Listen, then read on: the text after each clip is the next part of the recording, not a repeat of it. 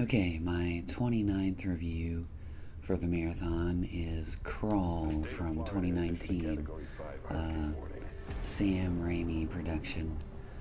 Uh, I've seen this before, but it's been years, probably since it came out on disc, either in 2019 or 2020.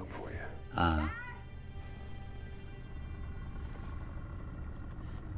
I still really, I still really like this movie, but I didn't remember how prominent the CGI alligators were. Uh,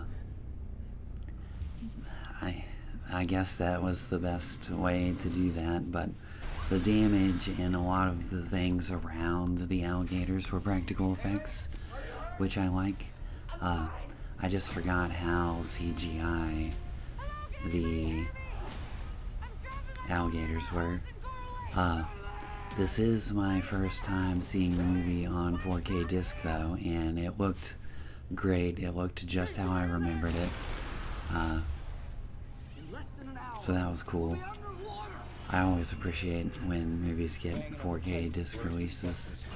Uh, so yeah, I still really like this. Thumbs up. Uh,